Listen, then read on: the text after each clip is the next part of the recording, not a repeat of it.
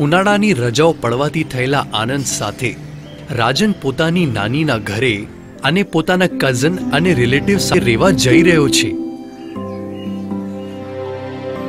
નાની શું હું ઠંડુ પી શકું છું? ના રાજન. આ ઠંડા પીણામાં પોષક તત્વો નથી હોતા. જાઓ આપણા બગીચામાંથી લીંબુ તોડીને લઈ આવ. હું તારા માટે લીંબુ પાણી બનાવું છું. બગીચામાં જતા અગાઉ ચંપલ પહેરી લેજે. અરે વાહ આ કેરી તો બહુ સ્વાદિષ્ટ લાગી રહી છે.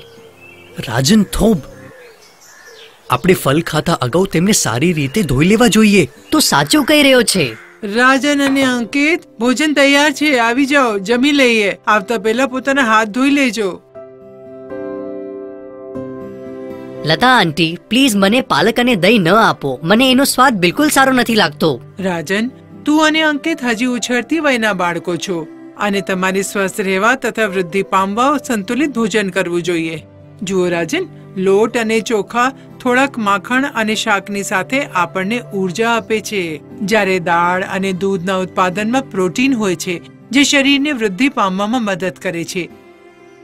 લીલા પાંદડાવાળા શાક અને સલાડમાં વિટામિન અને લવણની માત્રા હોય છે, જે આપણા શરીરને રોગો અને સંક્રમણથી બચાવે છે અને આપણી ત્વચા વાળ તેમજ આંખોને સ્વસ્થ રાખે છે. રાજન તને પનીર ગમે છે ને તો હું પનીરને પાલકમાં ભેળવી દઉં છું જેથી તું આનો સ્વાદ માણી શકે. થેન્ક યુ નાની આ બધું જણાવવા માટે. અને હા લતા આંટી મને પાલક પનીર પસંદ છે. રાજન શું તું મારી અને મારા દોસ્તારોની સાથે બાર મેદાનમાં રમવા આવીશ? ચાલ જઈએ. મને બહાર રમવું ગમે છે. ધ્યાન રાખજો રમ્યા પછી તમે બંને પોતાને સારી રીતે સાફ જરૂર કરી લેજો. લતા આંટી હંમેશા સાફ રહેવું આટલું જરૂરી કેમ છે? બાળકો પોતાની વ્યક્તિગત સફાઈ રાખવી અને વારંવાર પોતાના હાથ ધોવાનું અત્યંત આવશ્યક હોય છે. આ તમને કીટાણુઓ અને બીમારીઓ જેમ કે ડાયરિયા ન્યુમોનિયા તેમજ કોવિડ નાઇન્ટીનથી બચાવે છે. વ્યક્તિગત સફાઈ રાખવાની સારી ટેવો આપણને સુરક્ષિત અને સ્વસ્થ રાખે છે. મારી ક્લાસ ટીચરે જણાવ્યું હતું કે હાથ ધોવાની સાથે આપણે રોજ નહાવું અને દિવસમાં બે વખત પોતાના દાંતને બ્રશ કરવું. બિલકુલ સાચું. આની સાથે સાથે ભોજન સંબંધિત સફાઈ પણ અત્યંત આવશ્યક છે. આપણે ખાવાનું સામાન ખરીદતા અગાઉ તપાસવો જોઈએ અને ઘરે લઈ જઈને તેમને સારી રીતે સાફ કરવું જોઈએ.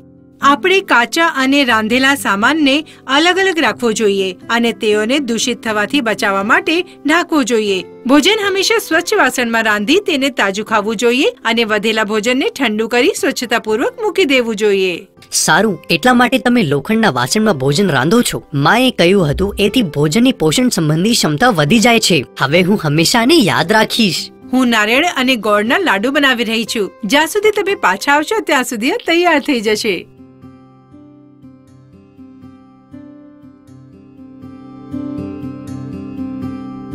મને લાગે છે કે ખુલ્લામાં આ બધું કરવું સારી ટેવ નથી. આપણો દેશ આમાંય ખુલ્લામાં શૌચ કરવાની સમસ્યાઓનો સામનો કરી રહ્યો છે. અંકલ, શું આપણે થોડીવાર માટે વાત કરી શકીએ? ખુલ્લામાં આ બધું કરવું સારી ટેવ નથી. આપણો દેશ સ્વચ્છતા અભિયાન ચલાવી રહ્યો છે. એટલા માટે સારું તો તે હશે કે હવે પછીથી તમે સાર્વજનિક શૌચાલયનો ઉપયોગ કરો. મને માફ કરી દો. આજ પછી હું સાર્વજનિક શૌચાલયનો ઉપયોગ કરીશ. ધન્યવાદ અંકલ. લોકોએ આવી ટેવો અને ખુલ્લામાં શૌચના ખતરનાક પ્રભાવોને જરૂર જાણવા જોઈએ. આ મેલા પદાર્થ પાણીને દૂષિત કરે છે અને આપણા ઘરમાં પહોંચી જાય છે. હા અને જીવડા આ કીટાણુઓને ઘરમાં પહોંચાડી દે છે જેનાથી આપણો ખોરાક દૂષિત થઈ જાય છે. દુઃખની વાત છે કે લોકો આ બાબતનું ધ્યાન નથી રાખતા. જ્યોતિ પડી ગઈ. ચાલો એની મદદ કરીએ. ઓ નહીં આ મારી દોસ્ત જ્યોતિ છે. ચાલો દોડીને જઈએ. કેટલા દિવસ પહેલા, જ્યારે અમે રમી રહ્યા હતા, ત્યારે તે બેભાન થઈને પડી ગઈ હતી. પછી તેણે જણાવ્યું કે તેણે તે દિવસે પોતાનું લંચ નહોતું ખાધું. ચાલો તેણીને નજીકના સ્વાસ્થ્ય કેન્દ્ર પર લઈ જઈએ અને પ્લીઝ કોઈ એના માતા પિતાને સૂચના આપી દો. ડોક્ટર, અમારી દોસ્ત બેભાન થઈ ગઈ છે. પ્લીઝ ચેક કરો કે તે ઠીક છે. આ નબળી અને એનિમિક લાગી રહી છે. જ્યોતિ શું તે આજે નાસ્તો કર્યો છે? નહીં ડોક્ટર. હું અવારનવાર નાસ્તો નથી કરતી કેમ કે મને સવારે બિલકુલ સમય નથી મળતો. જ્યોતિ આ ઠીક નથી. ઘણા બધા કિશોર નાસ્તો છોડી દે છે, પરંતુ નાસ્તો કરવો ખૂબ જ જરૂરી હોય છે, જેથી આખા દિવસની ઊર્જા જળવાઈ રહે અને એથી શૈક્ષણિક પ્રદર્શનને પણ વધુ સારું બનાવે છે. સૂકા મેવા અને પાંદડાવાળા શાકભાજી ખાવાથી આપણી અંદર આયરનની ઉણપ નથી રહેતી, જેને એનિમિયા પણ કહે છે. જો તમને ક્યારે પણ એકાએક થાક અથવા સુસ્તી જણાય, તો તરત વડીલોને જણાવો અથવા નજીકના ડોક્ટર અથવા કોઈ ઉચ્ચ સ્વાસ્થ્ય કેન્દ્ર પર જાઓ. યાદ રાખો જ્યોતિ, તારી વયની ઘણી બધી છોકરીઓને માસિક ધર્મ શરૂ થઈ જાય છે, જેના કારણે દર મહિને રક્તની ઉણપ આવે છે. એટલા માટે તારા માટે જરૂરી છે કે તું આયરનથી ભરપૂર ભોજન લે. આપણી સરકાર કિશોરોના સ્વાસ્થ્યને સહયોગ કરવા માટે કાર્યક્રમનું સંચાલન કરે છે, જેના હેઠળ સાપ્તાહિક આયરન તેમજ ફોલિક એસિડની ગોણી પૂરક સાથે જ રાષ્ટ્રીય ક્રિમુખ દિવસનું આયોજન, જેથી તમે લોકો સંક્રમણ અને રોગોથી થનારા નુકસાનથી બચાવી શકાય. હા, ડોક્ટર સાહેબ. આ બધું અમારી શાળાના પુસ્તકોમાં પણ લખેલું છે. અમે એ જરૂર ચોકસાઈ રાખીશું કે અમે પોતાના સ્વાસ્થ્ય સ્વચ્છતા અને પોષણનું ધ્યાન રાખીએ.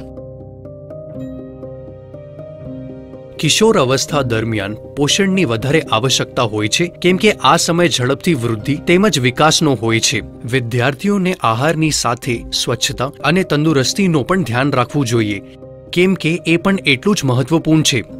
સંતુલિત પોષણ શારીરિક વિકાસમાં સહાયક છે. તેમજ ભવિષ્યમાં થનારી સ્વાસ્થ્ય સમસ્યાઓને અટકાવે.